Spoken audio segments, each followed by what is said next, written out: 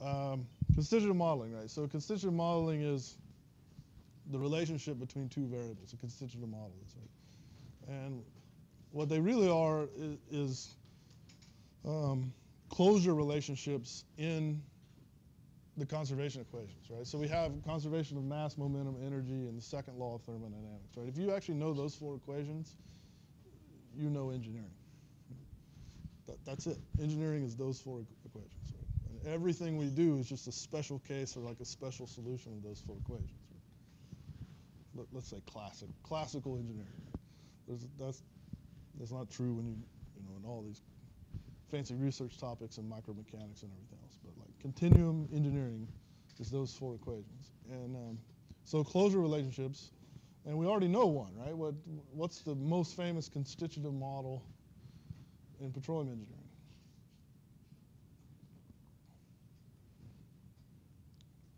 Darcy's law, right? Darcy's law. So it's a relationship between velocity and, and pressure, or the pressure gradient. And we can then, that, that gives us a closure relationship in the conservation of mass equation, right? So the conservation of mass equation has a velocity in it. And we can stick then the velocity, that Darcy's law, in for the velocity in the conservation of mass, and then a few other manip manipulations and assumptions about the density and compressibilities and other things, and we can end up with an equation that's only in terms of pressure, right? And then we can solve that equation. So now we're talking about, you know, in this class, we're talking about Newton's law, law, right? Conservation momentum. And so the closure relationship we need here, you know, again, if we write down conservation momentum, and I'm writing it in the in the vector form, understand that, you know, stress is a tensor, it has nine components. Uh, U and B are vectors, so they have three components each.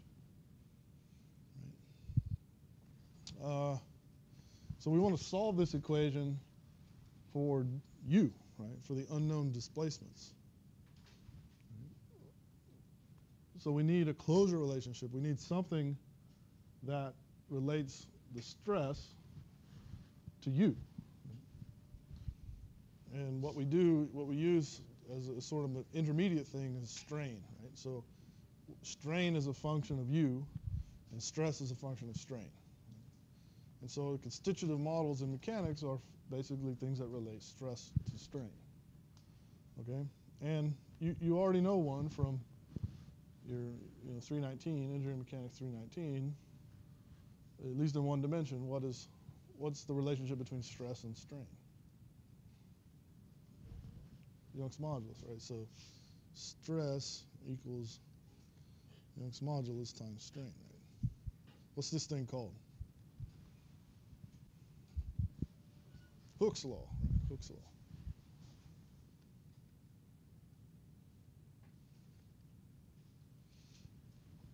Okay.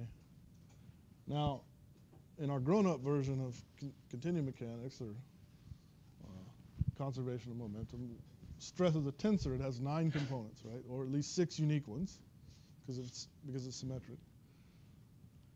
And so, um, if we're coming up with something in between stress and strain, well, you can probably infer that if stress has nine components, then strain also has nine components.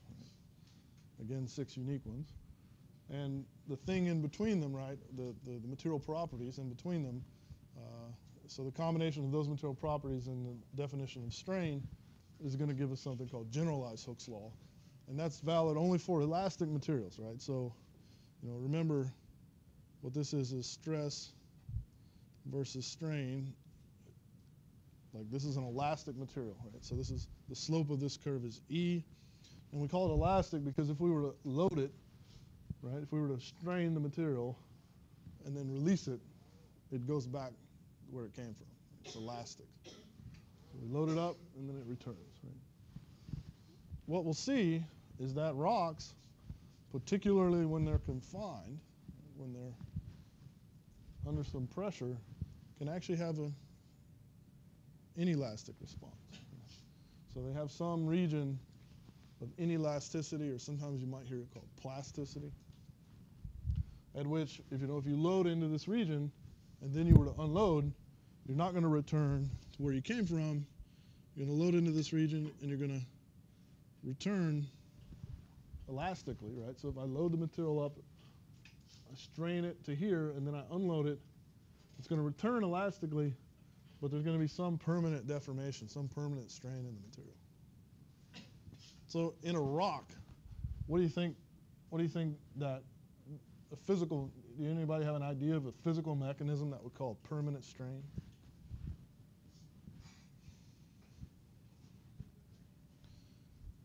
Uh, no, I'm just saying, uh, not, not even, uh, say we go to the lab, right? You go to the lab and you confine your rock and you squeeze it and then you let it go and it doesn't pop back. It doesn't pop back elastically. It doesn't recover all of its deformation.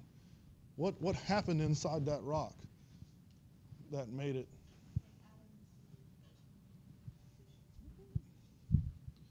At a little bit larger scale than atoms. Uh, could could happen, right? The the most uh, common mechanism in rock, there's sort of two, and that's one. Ro rocks are have a tremendous amount of flaws in them, right? There's little micro cracks all over them, right?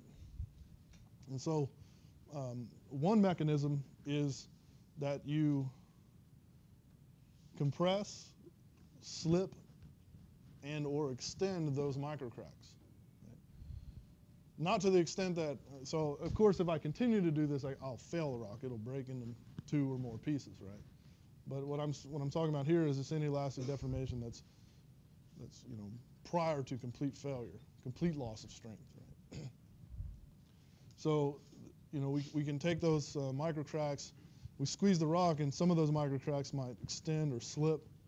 Some of them might close up and coalesce, and that is permanent not going to when you un, when you unload it, the, those things you know if you extended a crack and you unload it, it's not going to grow. The, the, crack's not going to heal itself.